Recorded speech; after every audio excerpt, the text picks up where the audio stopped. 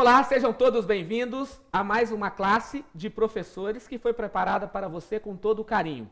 E hoje eu tenho aqui conosco Pastor Bruno, seja bem-vindo. Pastor Lucas, seja bem-vindo também. O trio já é bem conhecido por todos e é uma alegria, Pastor Lucas, tê-lo aqui conosco novamente. Que Deus continue abençoando o seu ministério. Pastor Bruno, temos um projeto muito especial no dia 23 de agosto. Que projeto oh, é esse? Projeto Maná.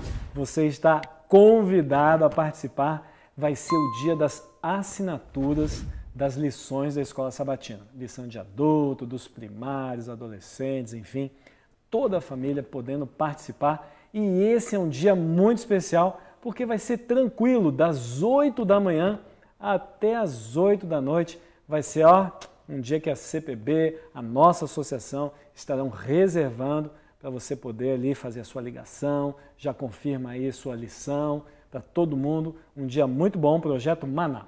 Converse com o seu pastor, divulgue, promove na sua igreja, porque tem um projeto muito especial vindo da nossa união.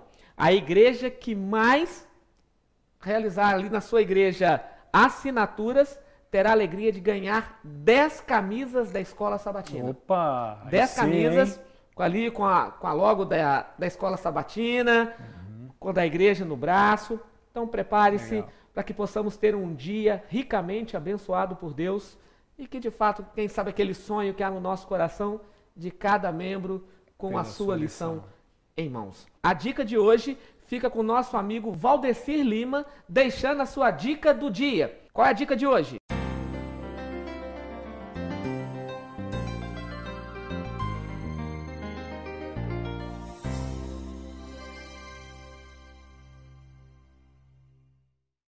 O planejamento do ensino é uma das partes vitais no preparo do professor.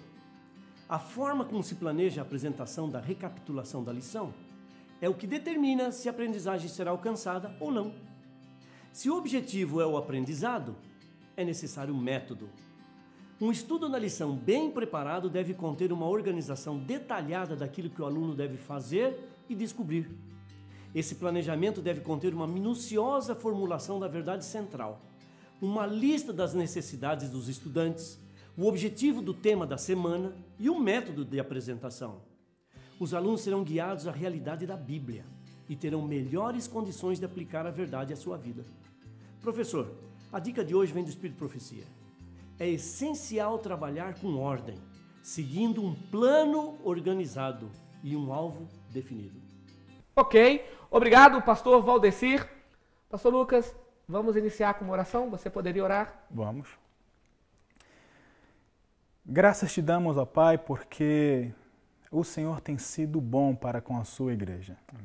Mesmo nas dificuldades, o seu povo reconhece a sua presença entre nós. Então, portanto, ó Pai, estamos aqui para te agradecer.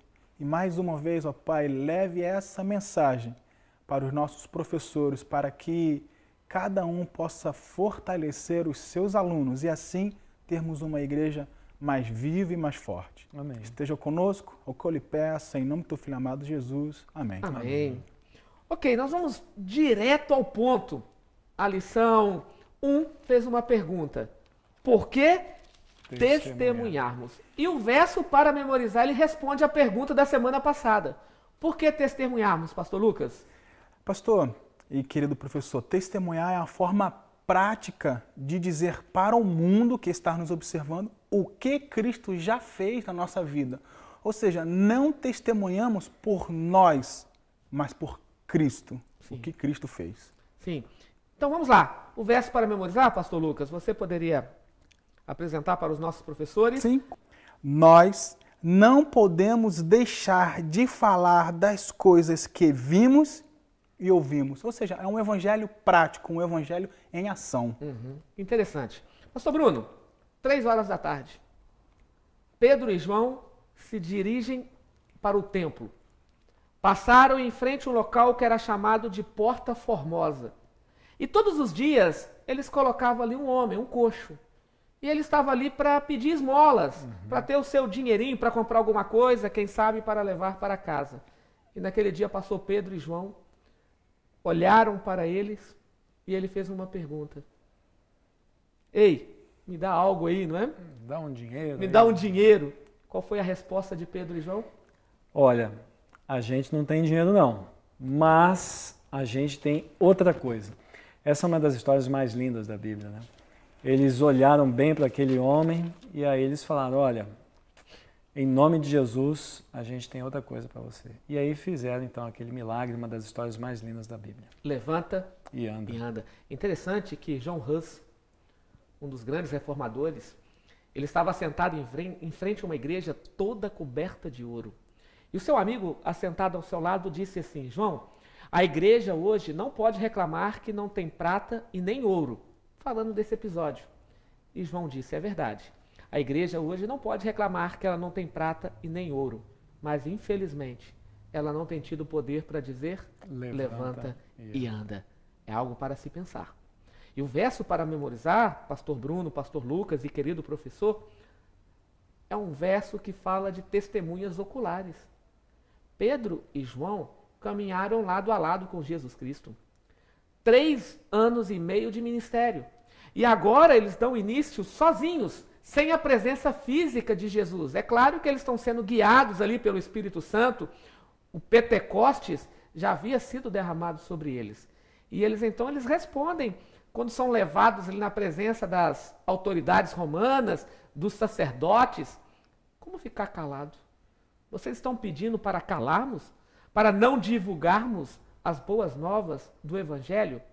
Nós temos um paralelo, Pastor Bruno, no Antigo Testamento. No segundo livro de Reis, encontramos um texto paralelo a esse, de quatro homens discriminados pela sociedade, passavam pela rua e precisavam gritar: imundo, imundo! E todos corriam deles Eram os leprosos, né? os leprosos. Conta essa história pra gente, pastor, um paralelo que temos a essa história. Muito bem, aqui no livro de Segundo Reis, nós encontramos a história dos famosos quatro leprosos, no capítulo 7. Então, Segundo Reis, capítulo 7. Então, eh, o povo estava sendo cercado, né? E o povo de Israel, né? E o povo de Israel sendo cercado ali na, na altura de Samaria, né? O pessoal da Síria ali cercando. Então, o pessoal orou e Deus opera um milagre eles conseguem fazer com que Deus ele dê esse livramento ao povo.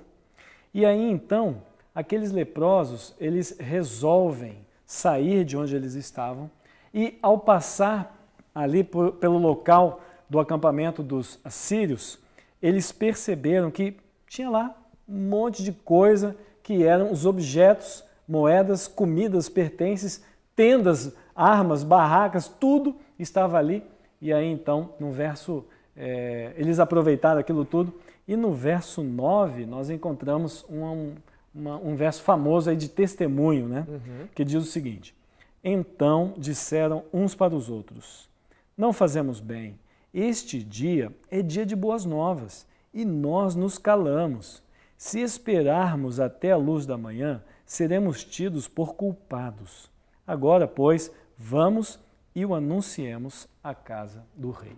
Então, eles tinham que testemunhar, eles não queriam ficar calados. E essa aqui é a deixa da lição, saindo da lição 1 e chegando aqui na lição 2. Justamente, que é a testemunhas cativantes, o poder do testemunho pessoal. Ok, então já entendemos aí o contexto. Esses homens falaram: não podemos ficar calados. A mesma fala de Pedro e João: não podemos ficar calados, porque hoje é um dia de boas, De boas novas. E novas. boas novas é a palavra evangelho, né? Sim, Evangelho também tem uma tradução como as boas novas, as pregações.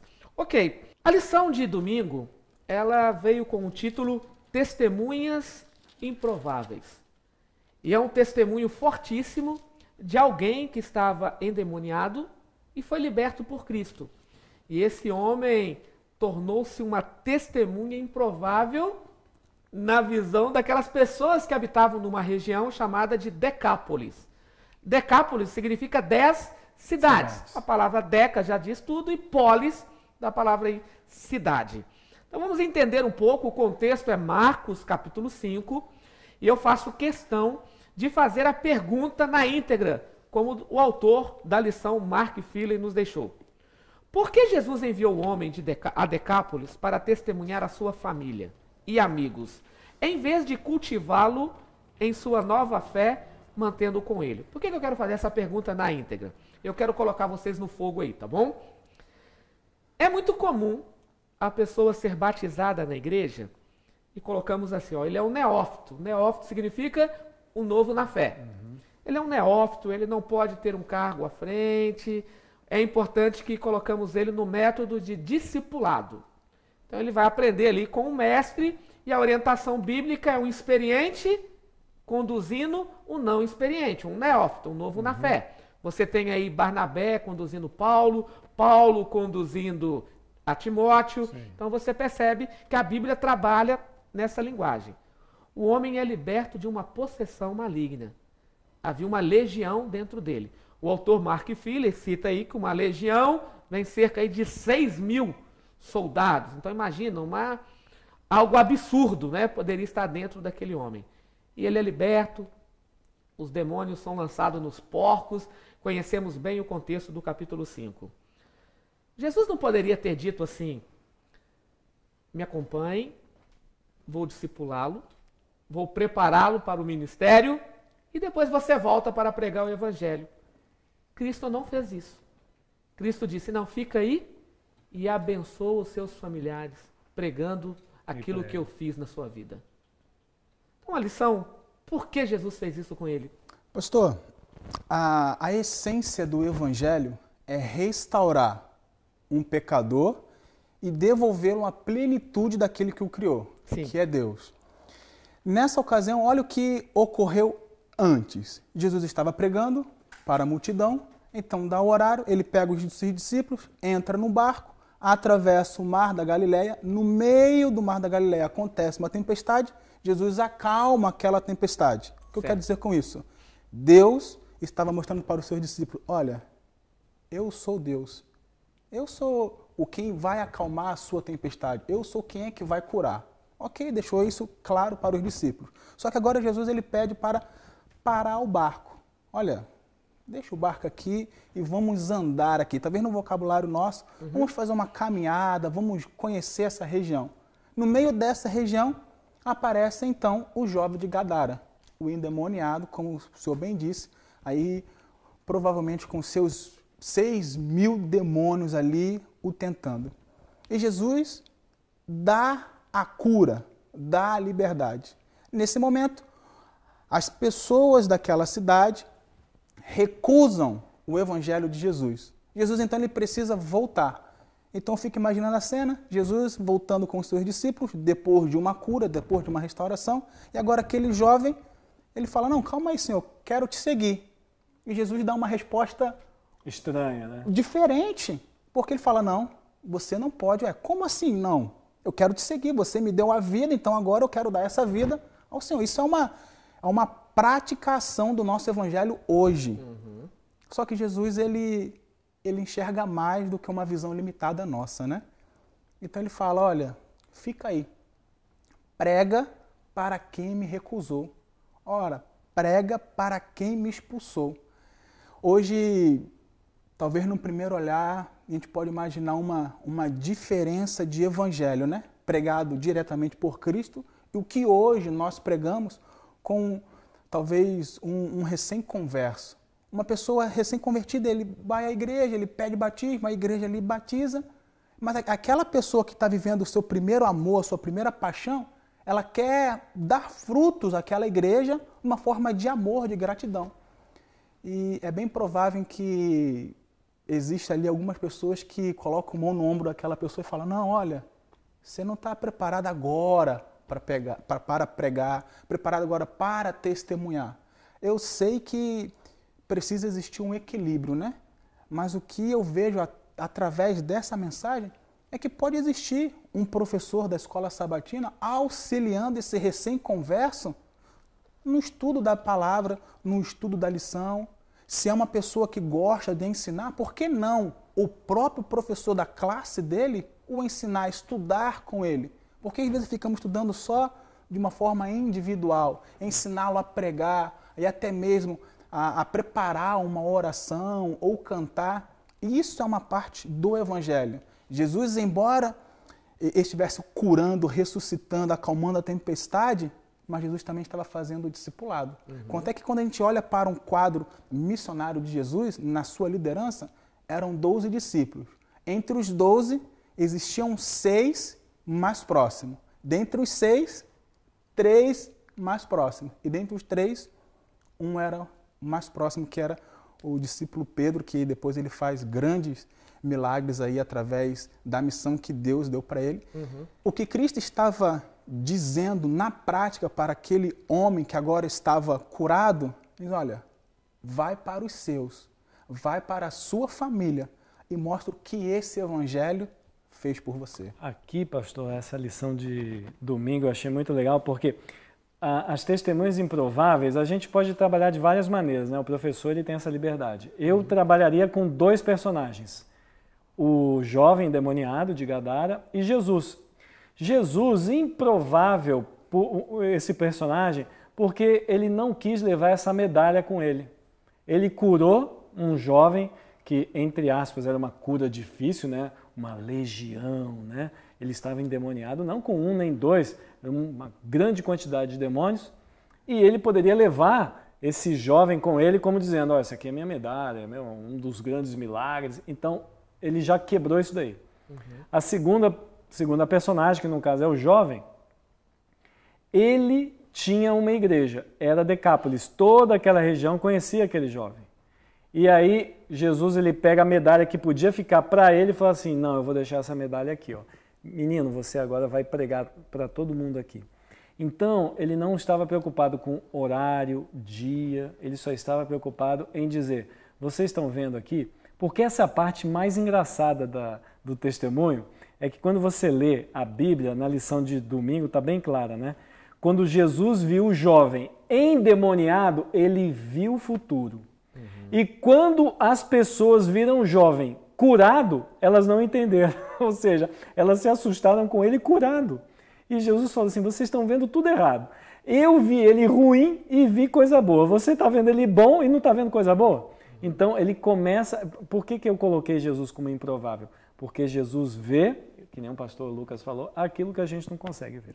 interessante que o escritor e historiador Flávio Josefo ele relata que alguns anos depois, aquelas dez cidades. Cerca de dez anos. Né? Cerca de dez anos, né? Dez anos. Aquela cidade foi evangelizada. E não foi por Cristo. E o mais legal, hein? É, o primeiro missionário que Cristo mandou não foram os discípulos. Foi ele. Esse homem evangelizou aquela região. E quando passaram por ali, aquela região já conhecia Jesus Cristo. Agora ele estava pronta para receber. Então, uma curiosidade, professor, é que essa região hoje podemos chamar de Jordânia uhum. e que hoje também temos um missionário lá, que é o pastor Paulo, Paulo Rabelo, Sim. que já veio aqui ao Brasil, já deu várias palestras e é bem legal, né? Coisa que aconteceu há mais de dois mil anos atrás, com o primeiro missionário sendo Cristo, uhum. e até hoje temos um missionário nessa região. Como que Jesus enxergando o futuro, né? Ele vê o que os homens Justamente. não veem. Segunda-feira. Até que ponto uma mentira pode ser mantida, pastor Bruno? Hum, dizem que a mentira tem alguma coisa, né? Pernas curtas. Não dá para manter essa mentira muito tempo. Você daria sua vida por uma mentira? Não. Imagina, Pedro morreu por uma mentira? Os discípulos foram ameaçados por uma mentira? A Idade Média, milhares e milhares de cristãos foram mortos para manter uma mentira? As pessoas não lutam contra as mentiras, elas lutam contra as verdades que atingem elas. Por que eu fiz essa pergunta? porque muitos não acreditam na ressurreição de Cristo. Pastor, esse tema é tão importante que provavelmente o senhor vai falar aí que até no meio religioso isso é meio conturbado. Muito. Vou pedir ao pastor Lucas que possa ler conosco Mateus 27, o verso 62 a 66. E o pastor Bruno, capítulo 28, o verso 11 ao verso 15. Evangelho de São Mateus, capítulo 27, versos 62 a 66, Mateus 28, de 11 a 15. Aqui nós temos alguém querendo transformar a verdade em mentira. Diz assim: No dia seguinte, que é o dia depois da preparação, reuniram-se os principais sacerdotes e os fariseus, e dirigindo-se a Pilatos, disseram-lhe: Senhor, lem lembramo-nos de que aquele que, embusteiro enquanto vivia, disse: Depois de três dias ressuscitarei. Ordena, pois, que o sepulcro seja guardado com segurança até o terceiro dia, para não suceder que, vindo os discípulos, o roubem e depois digam ao povo: ressuscitou dos mortos, e será o último embuste pior que o primeiro. E disse-lhes Pilato: Aí tendes uma escolta, ide e guardai o sepulcro, como bem vos parecer. Indo eles, montaram guarda ao sepulcro, selando a pedra e deixando ali a escolta. Primeiro contexto, o diabo influenciando os líderes religiosos daquela época, uhum. dizendo o seguinte, ó, esse homem quando esteve vivo por aí, ele dizia que ressuscitaria no terceiro dia. Então, para não acontecer que alguém vá lá, roube o corpo dele e diga que ele ressuscitou, vamos montar ali uma guarda perante o sepulcro. E aí, pastor Bruno, o que acontece depois? No verso 11 até o 15, né, do capítulo 28, nós lemos: E indo elas, eis que alguns da, da guarda foram à cidade e contaram aos principais sacerdotes tudo o que sucedera. Reunindo-se eles em conselho com os anciãos, deram grande soma de dinheiro aos soldados, recomendando-lhes que, que dissessem: Vieram de noite os discípulos e o roubaram enquanto dormíamos. Caso isto chegue ao conhecimento do governador, nós o persuadiremos e vos poremos em segurança. Eles, recebendo o dinheiro, fizeram como estavam instruídos. Esta versão divulgou-se entre os judeus até ao dia de hoje. Percebe? Até que ponto eu posso manter uma mentira, pastor? Não é fácil. Algum tempo depois, Paulo teve um encontro com Jesus Cristo. Após a ressurreição, Maria Madalena e as outras mulheres que ali estavam contemplaram Cristo, saíram correndo para anunciar. Os discípulos de imediato não acreditaram. Teve até ali uma Olimpíadas, né? Pedro e João. Vamos ver quem chega primeiro. Chega primeiro para ver. Para ver se de fato aconteceu isso. E Pedro foi o primeiro a chegar naquele local. Agora vamos lá. Maria encontrou. Jesus conversa com ela, ó, diga para eles que eu ressuscitei. Paulo tem um encontro com Cristo algum tempo depois da ressurreição. Isso está em 1 Coríntios, no capítulo 15, no verso 3 ao verso 8. Você pode estar lendo aí com, com o aluno. E Paulo é claro em dizer que ele apareceu para as mulheres, depois apareceu para os onze e depois para uma multidão com mais de 500 pessoas. Enquanto Satanás pagou ali, né, alguns guardas ali, usou os líderes da igreja para financiar uma mentira, Deus tinha uma gama de testemunhas de oculares fortalecendo a verdade, dizendo que Cristo ressuscitou. Pastor, é interessante e com certeza os nossos professores ele tem alguma história para dizer sobre mentira, né? Uma história que durou um ano, um dia ou dez anos. Só que o que me chama a atenção no texto que o pastor Bruno leu em Mateus capítulo 18, perdão, Mateus capítulo 28, 28. A parte final do verso 15 diz assim: esta versão ou seja, professor, a versão da mentira, que Jesus não iria ressuscitar, divulgou-se entre os judeus até o dia de hoje. Ou seja, a gente pode transformar esse hoje no hoje agora, o presente. É, é uma pena que eles tenham recusado essa mensagem. Mas essa mentira, em, em uma forma especial, ela durou. Ela durou aí, no mínimo, dois mil anos. E ela poderá durar mais mil anos, dois mil anos. Mas tem um momento exato que Deus está dizendo: olha, que essa mentira e qualquer outra mentira vai ter um final.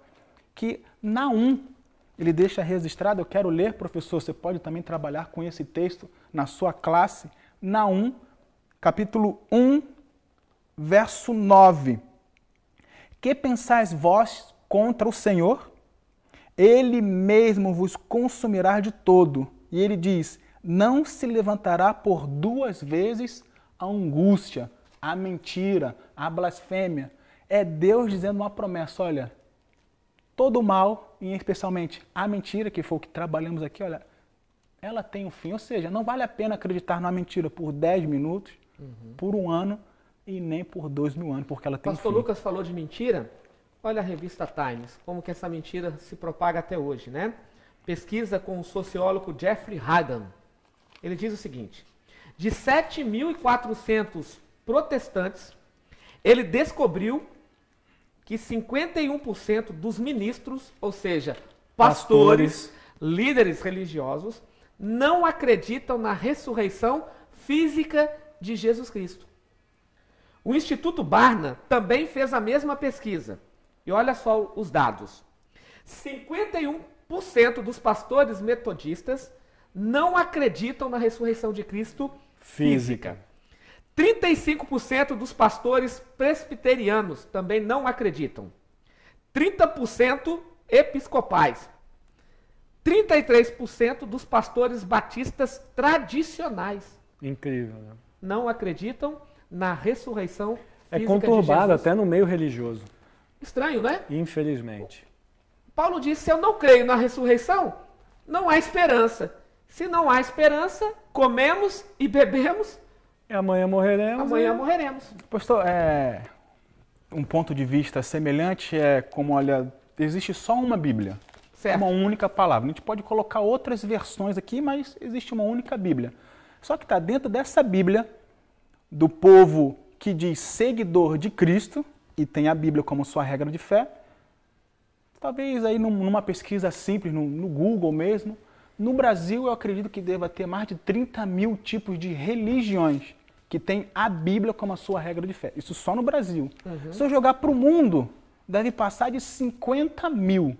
Só que calma aí, cada uma com alguns pontos de vista diferentes.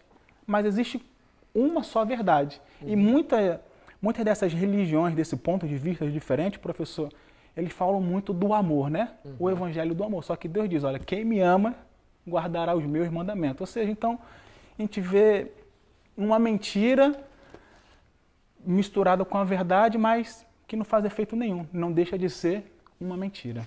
Professor Bruno, nos bastidores aqui, você disse que a possibilidade de fazer um paralelo aí meio apocalíptico com esse é, contexto. É uma estrutura. Sim. Essa estrutura aqui da lição, ela deixa bem claro que está na Bíblia, a gente só está explorando a lição de segunda, que a primeira, assim que Jesus ressuscita, aparece então é, as mulheres. E a gente pensa, ah, as mulheres é que viram isso daí. Na verdade, as mulheres elas não foram ver um anjo, elas foram ver Jesus. Só que quando elas chegaram para ver Jesus, quem estava lá? Um anjo. Qual que é a estrutura de Apocalipse? Verso 1, capítulo 1, verso 1 diz assim: Revelação de Jesus Cristo, que Deus lhe deu para mostrar aos seus servos as coisas que em breve devem acontecer. E ele, por intermédio do seu anjo, notificou ao seu servo João. Então, Jesus agora utiliza um anjo que avisa, que notifica as Marias e elas agora passam a ser essas testemunhas. Duas testemunhas improváveis, mulheres que os homens não davam, ah, que isso, você está ficando meio louca aí, que coisa é essa? Então Jesus, ele é o personagem central, através de Deus ele recebe esse poder, transmite para o anjo, o anjo transmite para as mulheres. É usando essa estrutura do livro de Apocalipse. Interessante que Maria também foi liberta. Ela teve uma possessão também, o texto diz que ela foi liberta de uma possessão uma testemunha ocular, ocular e improvável também, não é? Terça-feira, vidas transformadas fazem a diferença. Alguém por aí diz que a beleza do evangelho é um mendigo levando um pão para um outro mendigo. Essa é a beleza do evangelho. Porque olha para a minha vida, olha para a sua vida, eu sou uma testemunha improvável. Eu tenho tantos defeitos como você tem. Eu sou tão pecador como você é pecador. O evangelho poderia ter ser colocado, poderia ser uma obrigação para os anjos. Os anjos poderiam ter recebido essa ordem, mas um anjo sabe qual é a luta de um viciado em cigarro? Não sabe. Um alcoólatra? Alguém que está passando por vários problemas? Um anjo não é pai, não é mãe. Justamente. Né? Então, se ele viesse aqui e pregasse o evangelho, não um seria a mesma coisa. Não seria a mesma coisa. Mas agora você usa um ex-alcoólatra para pregar o evangelho para um alcoólatra. Eu vejo que aqui, Patrick, como eu comentei no início da, da nossa reflexão, uh, a dificuldade de transmitir a verdade está na verdade, porque a verdade ela cutuca a gente. Tem até aquele ditado, né? A, verdade dói, porque a gente não está tão preocupado com a mentira, mas a verdade que machuca a gente. Então, para Deus alcançar a gente, ele precisa que essa verdade alcance com um certo impacto. Uhum. Então, o anjo, ele teria um impacto, com certeza, muito importante mas não teria o mesmo impacto daquele pai que sofreu a perda de um filho, um ex-viciado. Enfim, existem muitas histórias, pessoas que estão fora, que estão dentro da igreja. Nossa, as testemunhas são incríveis e diversas. Verdade. E o texto de Atos, o capítulo 4, verso 1, verso 20, é justamente o texto que veio o verso áureo uhum. de Pedro, de João, o coxo, que não é mais coxo, que foi curado, gerou um problema para aqueles dois homens, né, incrível, os discípulos, né? um problema Fazendo incrível. Fazendo bem gerou um problema. Fazendo bem e gerou um problema. Mas o pastor Lucas tem algo para comentar aí. Eu vi que já mexeu na Bíblia, abriu a lição aí. Pastor, é, referente à questão da transformação, eu queria ler um, um texto, está até um pouco fora da lição, ele não estava encaixado no estudo certo? da lição, uhum mas ele combina perfeitamente com esse tema da transformação que está em Romanos 12, verso 2. Uhum. E não vos conformeis com este século, mas transformai-vos pela renovação da vossa mente, para que experimentais qual seja boa, agradável e perfeita vontade de Deus. Ok, isso aqui é um, te é um texto bem conhecido. conhecido. Sim. Só que olha só, há uma diferença entre mudar e transformar. Por exemplo, eu tenho aqui nas minhas mãos meu celular. Eu posso mudar esse telefone colocando uma capa ou pintando, colocando alguma proteção. Isso seria uma mudança. Mas transformar, eu preciso abri-lo e colocar tudo novo. Tirar isso aqui e, e, colocar. Provavelmente eu teria que dar para um especialista, né? já que uhum. não é minha área. Quando Cristo ele diz, olha, eu tenho o poder de lhe transformar, seja transformai-vos diariamente. Ele é o especialista. Ele é o especialista. Uhum. Ele não, não curou o endemoniado para aquele endemoniado ficar vivendo sozinho nas montanhas. Ele não deu vista ao cego para o cego agora ficar olhando a vida toda para uma parede.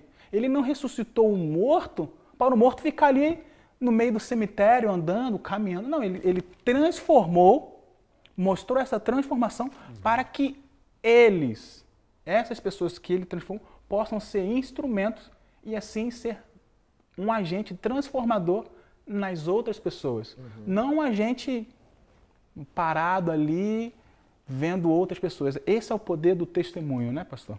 Justamente. Então já jogo para quarta-feira, pastor Bruno. Ótimo. Compartilhando nossa experiência. Excelente. Né? O pastor Lucas falou dessa do milagre que Deus opera em nós e agora ele quer usar a mim você como uma bênção para que o milagre possa ser realizado na vida de outros. A lição de quarta-feira, pastor Patrick, ela tem pelo menos duas perguntas importantes que a gente tira ao, ao fazer a sua leitura. Sim. Eu separei a primeira pergunta aqui, que o que é compartilhar a fé essa é a primeira pergunta. Uhum. E o que é testemunhar? A primeira pergunta, o que é compartilhar a fé? Então, no segundo parágrafo, aqui da nossa lição de quarta-feira, a parte final ali do segundo parágrafo diz: compartilhar a nossa fé é sempre uma experiência o quê? dinâmica. não é estática. Uhum. Então tem dia que é mais salgado, tem dia que é mais doce, tem dia que é para cima, tem dia que é para baixo. Ela está sempre em ação, é dinâmica. E ele termina dizendo: é contar a história do que Cristo fez por nós no passado, o que ele faz hoje e o que ele vai realizar no futuro. Eu achei isso tão legal, porque às vezes a gente só, só pensa no passado, né? Uhum. Ah, Cristo me libertou, eu era alcoólatra. Pronto, acabei, eu não sou mais alcoólatra. Parece que ele não vê um futuro, né? Ah, é estranho, mas é, tem um ditado que diz assim: os sábios é, procuram ter o controle do futuro, enquanto os tolos estão nas mãos do futuro. Uhum. Então aqui eu vejo que o testemunho ele nos impulsiona a ser sábios, uhum. a colocar Cristo, não, Cristo, eu gostaria de Deus, eu gostaria disso, tal, tal. E o que é testemunhar? Então o terceiro parágrafo, aí sim, testemunhar não é falar que eu era alcoólatra. Testemunhar é falar de como Deus cuidou de mim quando eu era alcoólatra. Ou seja, testemunhar é falar do poder de Deus. E aqui vem outra parte curiosa, porque eu sou nascido na igreja, eu nunca saí da igreja. Então, quando a pessoa vira para mim e fala assim, eu era alcoólatra, eu era isso, eu era aquilo, isso não me toca, porque eu nunca vivi isso daí. Mas existem pessoas dentro da igreja que estão perdidas ali. E aí é muito bonito nós ouvimos testemunhos de pessoas que dentro da igreja encontraram Cristo. Olha que interessante. Minas Gerais, bairro Funcionários em Belo Horizonte, Contagem. Irmão Antônio. E ele tem nos acompanhado aqui também.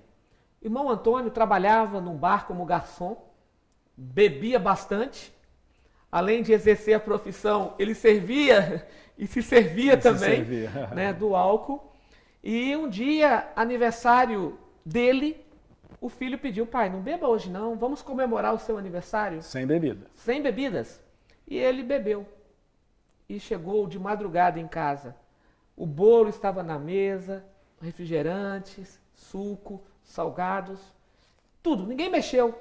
Era a festa dele e ele não estava porque estava bebendo. Mas tinha um bilhete na geladeira. O Senhor seria o melhor papai do mundo se não bebesse. Isso acontece num sábado para o domingo. E no domingo à noite estávamos fazendo um evangelismo nesse bairro funcionário. E o Antônio foi para a igreja.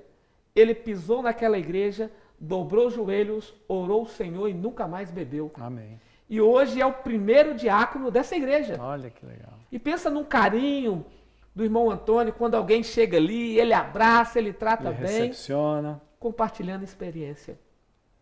Parabéns, irmão Antônio, por perseverar na fé. Deus continue abençoando Amém. a sua vida. Amém. Amém. A lição, ela veio com dois nomes aqui. Temos aí o exemplo em 1 João, capítulo 1, verso 1 e 3, que é a experiência de João, o discípulo amado. Aquele que caminhou com Cristo três anos e meio, né? Está dentro da nossa pergunta. Sim. Mas temos Paulo, uma das passagens mais lindas, né? Gálatas capítulo 2, verso 20. Então, pastor Bruno, vou pedir que o pastor Lucas. Primeira Gálatas, João? Primeiro João. Primeira João, pode ser? Capítulo 1, verso 1 e verso 3. E o pastor Bruno, Gálatas capítulo 2, verso 20. Ok. Temos duas experiências aí. Incríveis. Incríveis. Incríveis. A experiência de João e a experiência de Paulo. Vamos lá? Ok. Primeira João Diz assim: o que era desde o princípio, o que temos ouvido, o que temos visto com os nossos próprios olhos, o que contemplamos e a nossa mão apanharam com respeito ao Verbo da vida, e a vida se manifestou e nós a temos visto, e dela damos testemunho, e vou-la anunciamos, a vida eterna, a qual estava com o Pai, e nos foi manifestada. Verso 3: O que temos visto e ouvimos, anunciamos também a vós outros, para que vós igualmente mantenhais comunhão conosco. Ora, a nossa comunhão é com o Pai e com o seu Filho, Jesus Cristo. Olha que interessante. João é o evangelista aqui. Ele sai da, da ilha de Pátimos e ele escreve a primeira, a segunda e a terceira carta. Uhum. E ele então está contando algo que aconteceu com ele. Eu sou uma testemunha ocular. E ele era chamado de filho do trovão. Passou a ser chamado discípulo do amor. amor. ou discípulo, discípulo amado. amado. Olha a experiência. Que mudança, né? Que mudança, né? É, uma mudança de caráter. Uma transformação. Uma transformação, transformação. como o pastor Lucas mencionou no início. Né? E Paulo, perseguidor da igreja? Uma carta em mãos para prender cristãos. Parece que ele vivia feliz sendo um perseguidor. E aí ele escreve para os novos conversos da Galácia, né? para os nossos irmãos de Gal os Gálatas, né? Uhum. E ele escreve um dos versos mais lindos da Bíblia. Gálatas 2:20 diz assim: Logo já não sou eu quem vive, mas Cristo vive em mim. E esse viver que agora tenho na carne, vivo pela fé no Filho de Deus que me amou e a si mesmo se entregou por mim. Então, essa parte do Cristo vive em mim é a parte icônica do verso. Mas a parte que eu acho mais doída a mais sincera é a parte final, quando ele diz assim: Ele me amou e a si mesmo se entregou. Uhum. Eu falo isso, gente, porque nós estamos acostumados a ouvir falar do amor de Deus. Porque Deus amou o mundo. Quem conhece, como é que é? Ah, nisso conhecemos o amor. Aquele que me ama, guarda os meus mandamentos. Aquele que não ama, não conhece a Deus e tal. Mas a gente não tem coragem de dizer para Deus: Senhor, eu te amo. Aqui Paulo está falando mais ou menos isso. Uhum. Cristo me amou e ele morreu por mim. É, ele só faltou falar, eu, eu quero, eu quero dizer para você que eu também amo a, a, Jesus, amo a Deus. Então é, essa parte me tocou muito. Hein, pastor, é, Paulo ele tinha coragem de falar e coragem de viver o que estava falando. O segredo da transformação é você encontrar a Cristo seja, se você nunca foi transformado, é óbvio que você nunca encontrou a Cristo, não uhum. tem por onde correr. Eu gosto de chamar Paulo de ousado, um ousado do bem. Porque olha só o que Paulo ele diz, deixa registrado lá em Filipenses 3, 17. É um texto bem conhecido, eu já usei esse texto em, em algum momento já na minha vida. Diz assim: Irmãos, sede imitadores meus é, é a leitura correta. Paulo está dizendo, professor, para que a igreja, para que a comunidade daquela época olhassem para ele e, e imitasse. Ele, é um... ele não estava sendo um, um grosso aqui e querendo tomar o lugar de Jesus. Só que ele estava dizendo assim: olha, eu fui transformado. Uhum. Eu tenho Cristo na minha vida. Então, através da minha vida, vocês irão ver a Cristo. Ó, olhe a vida dos meus filhos, olha, olha a vida que eu tenho em casa, olha a vida que eu levo no meu trabalho. Isso é uma transformação. Uhum. E às vezes é, eu fico muito triste, professor, até mesmo quando numa classe algum, alguns líderes, né, até professores nossos ali, ele fala, olha, não olha a minha vida não, olha a vida de Cristo, porque ele é o maior exemplo. Olha, eu sei que o maior exemplo é de Cristo, uhum. mas Cristo dá autoridade para o pastor Patrick, para um outro professor, seja de qualquer igreja. Não, olha, olha a vida do meu servo ali. Foi o que ele fez com Jó. Uhum. Não, olha Jó ali. Sim. Então, isso é transformação. É verdade. É interessante que Paulo se converte por volta do ano 34, quando se cumpriu uma profecia do Antigo Testamento. Estevão estava sendo ali apedrejado. E ele segurou até as roupas. Ele segurou até as vestes, né? Ele participou, ele participou. Justamente. Depois daquilo, Paulo sai tem um encontro com Cristo na, em, estrada, na estrada de Damasco. Ananias o batiza.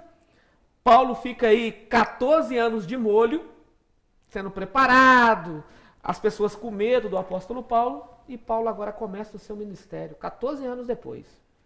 E aí ele morre por volta do ano 65. Mas Paulo também foi preso. Tentaram silenciar Paulo de todas as maneiras. E ele foi levado perante grandes autoridades daquela época, governadores, prefeitos, líderes religiosos de influências. E Paulo não silenciou em momento algum. Paulo abria a boca e dizia: Eu fui assim e hoje eu sou assim. Jesus operou em mim um grande milagre. Jesus me libertou. Paulo usou muito isso Sim. com Agripa, Félix. Uma das, uma das partes mais exploradas uma aqui, Uma das né? partes mais exploradas aí da lição da escola sabatina, que é o poder do testemunho pessoal. Billy Graham disse assim: Nós somos a Bíblia que o mundo está lendo. Somos os sermões que o mundo está prestando atenção. Francisco de Assis, tome cuidado com a sua vida. Talvez ela seja o único evangelho que as pessoas possam ver. Isso aqui é legal, né? Pastor Bruno, poderia encerrar a oração? Com certeza. Oremos então. Querido e amado Deus, muito obrigado, porque através da tua palavra encontramos histórias incríveis de pessoas que se encontraram contigo e resolveram abrir o coração, foram transformadas, são testemunhas até hoje, seus nomes estão na nossa memória, seus nomes são contados. Senhor, nós queremos também ser contados, queremos ser tuas testemunhas. Abra o nosso coração, abra a nossa mente, para que nós possamos continuar testemunhando de maneira cativante, através do nosso olhar, do nosso sorriso, esteja com os professores, os alunos, a tua igreja. É o que pedimos e agradecemos em nome de Jesus. Amém. Amém. Pastor Luco, o desafio de hoje é na sua terra. Opa! Duque de Caxias. Terra que manda leite mesmo, né? Opa, manda, né? Ela manda, né? Ok. É Igreja de Pedras. Meu amigo Robert, parabéns por esses anos de dedicação na igreja e que você possa sempre ser assim, esse professor sete, presente e ativo na sua igreja. Que Deus te abençoe. Amém. Parabéns, Robert. Parabéns, viu, Robert? Tenho um carinho muito grande por você, faz parte da mesa administrativa conosco. Muito bom tê-lo conosco. Deus te abençoe e parabéns. E lembre-se, eu estudo a lição. E você?